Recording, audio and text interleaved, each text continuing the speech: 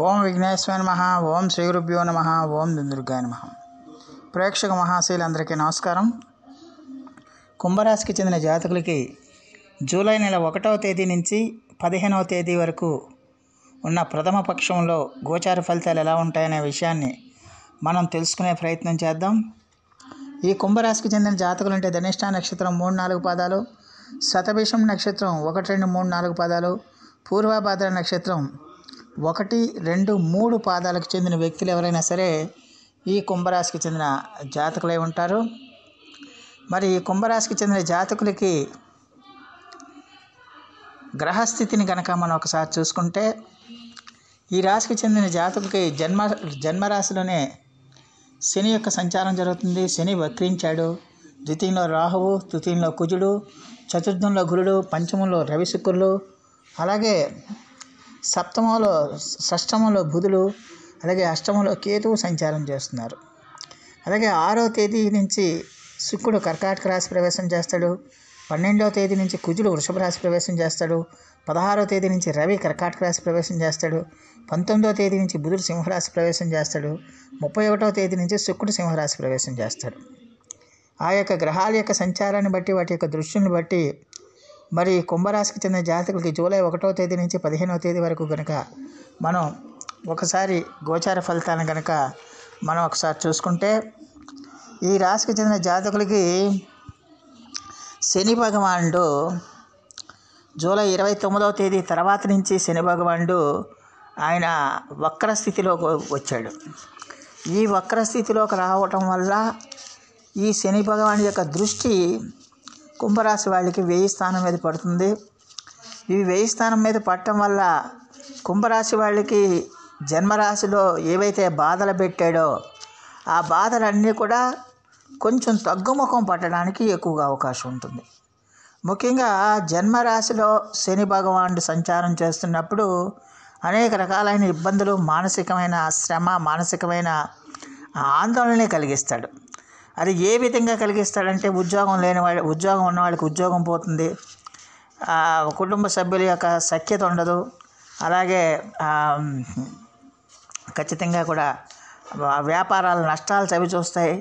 అలాగే అన్ని రకాలుగా కూడా ఆరోగ్యం చెడిపోతుంది ఆరోగ్యం బాగోదు. ఇలాగా అన్ని రకాలుగా కూడా మీకు ఇబ్బందులు కలగజేస్తాడు ఈ శని భగవానుడు. ఈ శని భగవానుడు ఇబ్బందులు కలగజేసినప్పుడు మరి ఇలాంటి సమయంలో ఎప్పుడైతే శని ఇరవై తొమ్మిది తర్వాత నుంచి ఆయన వక్రించాడో ఆ వక్రించిన తర్వాత నుంచి దాని యొక్క ప్రభావం ఏదైతే ఉందో అది కొంచెం తగ్గుముఖం పడుతుంది. అంటే ఇంతకాలం మీరు ఏ ఉద్యోగం కోసం అయితే ఏ డబ్బు కోసం అయితే లేకపోతే ఏ ఆనందం కోసం అయితే ఏ ఏ రిలేషన్స్ కోసం అయితే మీరు ఇబ్బందులు పడి నానా రకాలుగా ఇబ్బందులు పడి మానసికమైన ప్రశాంతత లేకుండా ఉన్నారో అలాగే సోమరితనంతో బద్ధకంతో మీరు ఏ పని చేయలేక ఆత్మ న్యూనంతో బాధపడరు అవన్నీ కూడా తగ్గుముఖం పట్టడానికి ఎక్కువగా అవకాశం ఉంటుంది. అందువల్ల జూలై ముప్పైవ తేదీ నుంచి జూన్ ముప్పైవ తేదీ నుంచి ఈ ఇది దశ జూలై ఇరవై తొమ్మిదో జూన్ ఇరవై తొమ్మిదో తేదీ నుంచే స్టార్ట్ అయిపోతుంది కాబట్టి ఖచ్చితంగా కుంభరాశి వాళ్ళు వాళ్ళందరికీ కూడా ఒక మంచి ఒక సెటిల్మెంట్ అనేది ఈ శని భగవాన్ ఇవ్వడానికి అవకాశం ఉంటుంది. ఆ సెటిల్మెంట్ ఎలా ఇస్తాడో ఉద్యోగం పోయిన వాళ్ళకి గతంలో ఉద్యోగం పోగొట్టుకున్న వాళ్ళకి మళ్ళీ ఉద్యోగం ఇవ్వటం. ఆ ఉద్యోగం ఎలా ఎందుకు? ఆ ఉద్యోగం పొందేటప్పుడు మీరు ఒక ఆత్మవిమర్శ చేసుకుంటారు. నేను ఫలానా తప్పుడు ఫలానా తప్పు చేయటం వల్లే కదా ఈ ఉద్యోగం పోగొట్టుకున్నాను అని మిమ్మల్ని మీరు సరిదిద్దుకుంటారు. సరిదిద్దుకుని మళ్ళీ ప్రయత్నం చేస్తే కనుక మీరు ఖచ్చితంగా మీకు ఉద్యోగం వస్తుంది. అలాగే గతంలో మీరు ఆర్థిక సమస్యలు ఎదుర్కొని గతంలో మీరు ఆర్థిక కష్టాలతో బాధపడుతుంటే మొన్న ఇప్పటివరకు కూడా ఆర్థిక సమస్యల నుంచి మీకు వెసులుబాటు కలుగుతుంది ఆదాయం పెరుగుతుంది. ఎలా పెరుగుతుంది? నేను గతంలో కొన్ని తప్పులు చేశాను కదా ఆ తప్పులు చే ఆ తప్పుల్ని రెక్టిఫై చేసుకుంటే మళ్ళీ మీ ఆదాయం పెరుగుతుంది. అలాగే రిలేషన్స్ విషయంలో కానీ ఆరోగ్యం విషయంలో కానీ ఇలాగ అన్ని రకాలుగా కూడా ఖచ్చితంగా కూడా శని భగవానుడు మీకు మేలు చేయడానికి అవకాశం ఉంటుందన్న విషయాన్ని గమనించాల్సిన అవసరం ఉంటుంది. అలాగే ఈ రాశి వాళ్ళకి ఖచ్చితంగా కూడా మరి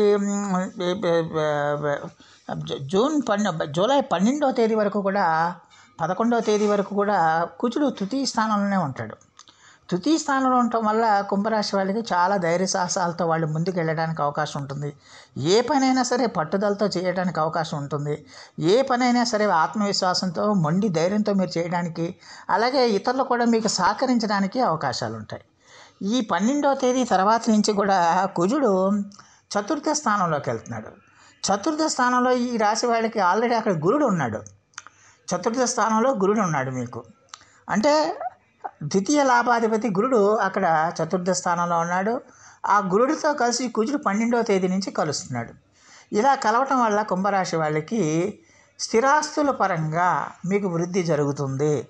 భూములు కానీ ఇళ్ళు కానీ పొలాలు కానీ ఇలాంటి స్థిరాస్తులకు సంబంధించి మీకు ఖచ్చితంగా కూడా ఒక పాజిటివ్ సైన్ అనేది వస్తుంది. అంటే వాటికి సంబంధించి మీరు గతం నుంచి కనుక ఏదైనా వాటి గురించి ప- పరిశ్రమిస్తుంటుంటే ఇల్లు కొనుక్కోవాలని కానీ స్థిరాస్తులు కొనుక్కోవాలి కానీ భూములు కొనుక్కోవాలి కానీ లేకపోతే పెండింగ్ పనులు ఏమైనా ఉంటాయి ఏదైనా కోర్టు కేసుల్లో ఉండిపోవాలంటే వాటి నుంచి ఖచ్చితంగా కూడా మీకు ఒక రకమైన గుడ్ సైన్ ఒక మంచి శుభవార్త మీరు వింటారు. అవన్నీ కూడా మీకు చేజిక్కించుకోవడానికి అవకాశం ఉంటుంది.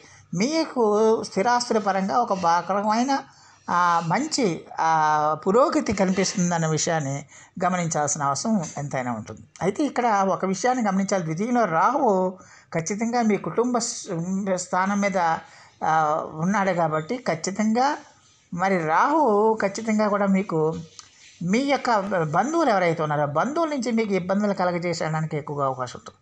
సాధారణంగా కుంభరాశి వాళ్ళు అంటేనే బంధువులు ఈర్ష్యా దేశాలతో రగిలిపోతూ ఉంటారు.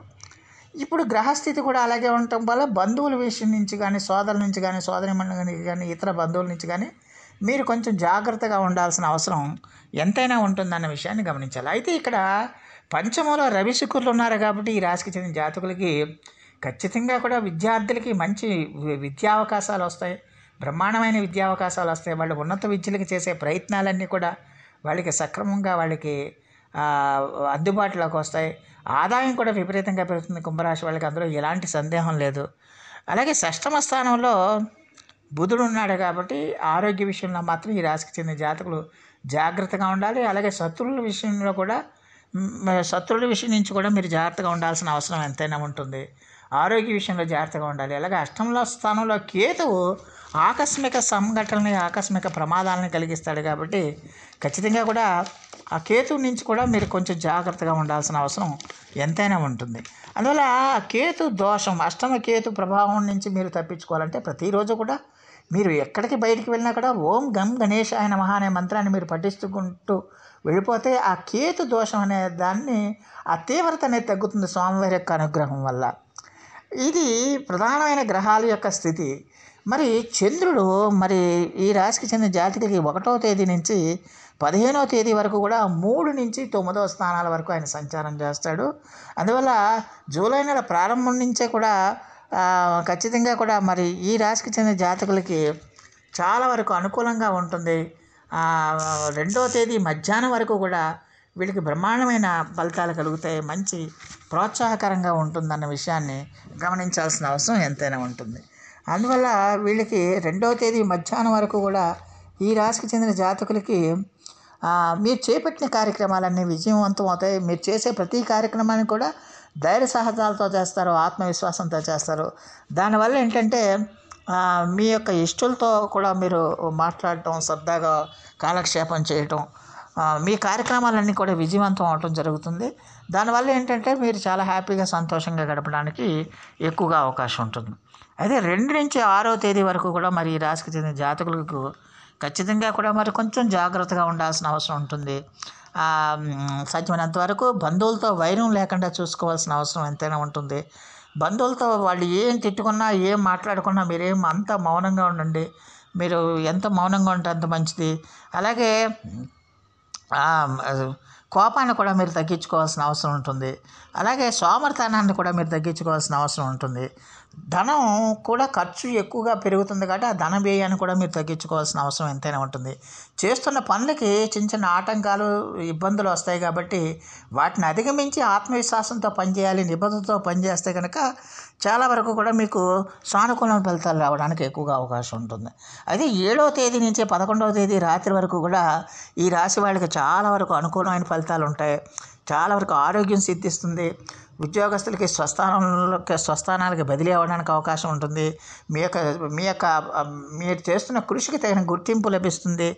మీ కీర్తి ప్రతిష్టలు పెరుగుతాయి. అలాగే ఆధ్యాత్మిక ఆసక్తి పెరుగుతుంది. దానివల్ల తీర్థయాత్రలు పుణ్యక్షేత్రాలు కూడా మీరు వెళ్తారు. దానివల్ల దైవ దర్శనాలు చేసుకుంటారు. చాలా హ్యాపీగా సంతోషంగా ఉంటుంది. అలాగే మీ పార్ట్నర్స్తో కూడా మీరు చాలా హ్యాపీగా ఉంటారు. జీవిత భాగస్వామి కానీ వ్యాపార భాగస్వామితో కొన్ని మంచి రిలేషన్స్ ఏర్పడతాయి. అలాగే ధన లాభం పెరుగుతుంది. స్త్రీ సౌఖ్యం కూడా మీకు పెరగడానికి ఎక్కువగా అవకాశం ఉంటుంది. అందువల్ల ఏడవ తేదీ నుంచి పదకొండవ తేదీ రాత్రి ఎనిమిది గంటల వరకు కూడా మీకు జమ్మ బ్రహ్మాండంగా యోగిస్తుందన్న విషయాన్ని గమనించాలి. అలాగే పదకొండవ తేదీ రాత్రి నుంచి రాత్రి ఎనిమిది గంటల నుంచి పదమూడవ తేదీ రాత్రి వరకు కూడా ఈ రాశికి చెందిన జాతకులు ఆరోగ్య విషయంలో కొంచెం జాగ్రత్తగా ఉండాలి. సాధ్యమైనంత వరకు బయటికి వెళ్ళినప్పుడు బయట ఆహార పానీయాలు తీసుకోకుండా ఉండటం మంచిది. ఒకవేళ కనుక తీసుకుంటే కనుక ఖచ్చితంగా కూడా మరి ఈ జీర్ణ సంబంధమైన సమస్యలు కడుపుకు సంబంధించిన సమస్యలు రావడానికి ఎక్కువగా అవకాశాలు ఉంటాయి. అలాగే దూర ప్రయాణాల్లో మీరు ఎక్కువగా అలసిపోవటం అలసట చెందటం బాడీ ఎక్కువగా అలసట చెందటం దానివల్ల ఇబ్బందులు రావటం. అలాగే మీకు ఇష్టం లేని పనులు చేయటం ఇలాంటివన్నీ కూడా జరగడానికి ఎక్కువగా అవకాశం ఉంటుంది. పదమూడవ తేదీ రాత్రి నుంచి పదిహేనవ తేదీ వరకు కూడా ఈ రాశికి చెందిన జాతకులు ఖచ్చితంగా కూడా ఆరోగ్య విషయంలోనే జాగ్రత్తగా ఉండాలి. మీ సంతానంతో కూడా కొంచెం జాగ్రత్తగా ఉండాలి. దూర ప్రయాణాలు చేయడానికి ఎక్కువగా అవకాశాలు ఉంటాయి. అలాగే కలహాలు కూడా జరగడానికి అంటే గొడవలు అయ్యి రావడానికి అవకాశాలు ఉంటాయి కాబట్టి అందరితో కూడా మౌనంగా ఉండండి. ఓర్పు సహనంతో ఉండండి. ఏ ప్రాబ్లం వచ్చినా కూడా మీరు మౌనంగా వహిస్తే కనుక చాలా వరకు సమస్యల నుంచి మీరు బయటపడడానికి ఎక్కువగా అవకాశం ఉంటుంది. అలాగే మీ సంతానంతో కూడా మీరు సాధ్యమైనంత వరకు వాగ్వివాదాలు కానీ వాదోపవాదాలు కానీ ఘర్షణలకు కానీ దిక్కండి దానివల్ల చాలా వరకు మేలుగైన ఫలితాలు ఉంటాయన్న విషయాన్ని గమనించాల్సిన అవసరం ఉంటుంది మొత్తం మీద చూస్తే ఈ కుంభరాశికి చెందిన జాతకులకి ఈ ఈ ప్రథమ పక్షంలో జూలై నెల ప్రథమ పక్షంలో ఈ కుంభరాశికి చెందిన జాతకులకి ఖచ్చితంగా కూడా మరి చాలా వరకు కూడా అనుకూలమైన ఫలితాలే ఉంటాయి? ఆర్థికంగా మాత్రం బ్రహ్మాండంగా ఉంటుంది. కొత్త అవకాశాలు వస్తాయి కొత్త ఉద్యోగ అవకాశాలు వస్తాయి కొత్త వ్యాపార అవకాశాలు వస్తాయి.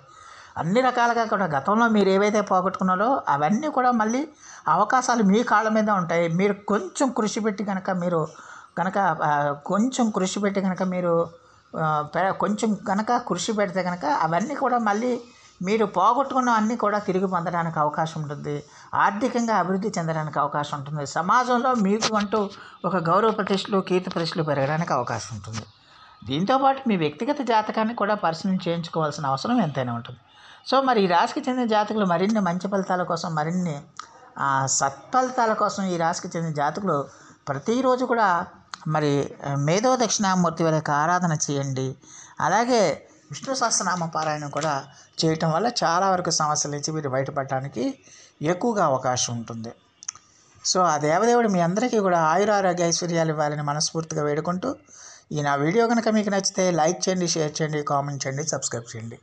సర్వేజన సుఖనోభవంతు నమస్కారం.